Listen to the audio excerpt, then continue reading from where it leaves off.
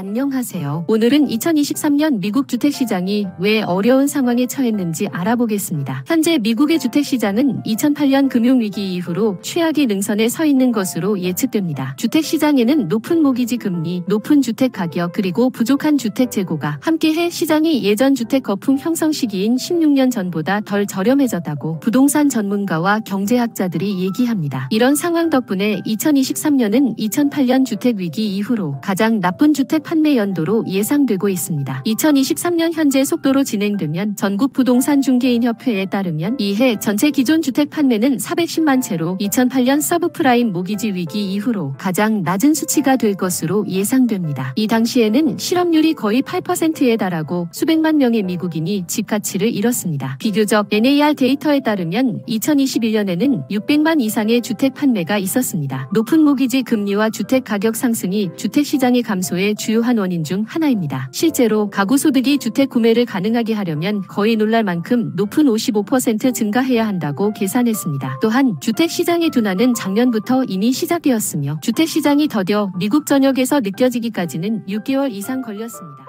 주택을 사고 팔려는 많은 사람들에게 가장 큰 거부감을 일으킨 것은 모기지 금리의 계속 상승입니다. 평균 모기지 금리는 작년 초부터 이미 두 배 이상 상승해 매달 집 비용을 수백 달러 이상 늘렸고 그 결과로 주택 판매량이 감소했습니다. 현재 시장을 조심하게 만드는 요소 중 하나는 잠겨있는 효과입니다. 일반적으로 다른 주택을 구입하려고 하는 기존 주택 소유자가 시장의 주택 재고 중 상당 부분을 차지합니다. 그런데 시장 모기지 금리와 함께 현재 소유자들은 주택 판매 시장으로 돌아가려 하지 않습니다. 실제로 현재 소유자의 90% 이상이 이미 6% 미만의 모기지 금리로 잠겨 있습니다. 잠겨 있는 효과는 집 판매 감소를 억제합니다. 또한 주택 구매자들은 모기지 금리가 곧 내려갈 것을 기대하며 기다려보기 방식을 취하고 있습니다. 그러나 많은 경제학자와 부동산 전문가들은 최소한 다음 1년 동안 모기지 금리가 크게 하락하지 않을 것으로 예상하고 있습니다. 요약하자면 고모기지 금리, 급등하는 주택 가격, 주택 재고 부족 및 잠겨 있는 효과의 조합으로 인해 미국 주택 시장은 2008년 금융위기 이후 가장 느린 연도를 경험 중입니다. 구매자의 가능성과 판매자의 요구 사이에 나타난 큰 격차와 기다려 보기로 인한 증가로 상황이 악화되고 있으며 주택 시장의 빠른 회복 기대는 보이지 않습니다. 주택을 사고 팔...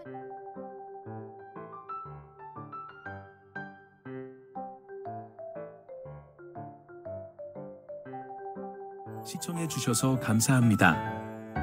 저는 캘리포니아 주 부동산 중개인으로 25년 이상의 경험을 가지고 있으며 공학 및 기술 관리 분야에서 두 석사 학위를 소지하고 있습니다.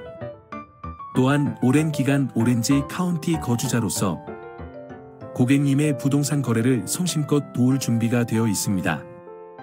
부동산 관련 모든 비즈니스에 대해 언제든 연락 주시면 감사하겠습니다. 시청해 주셔서 감사합니다.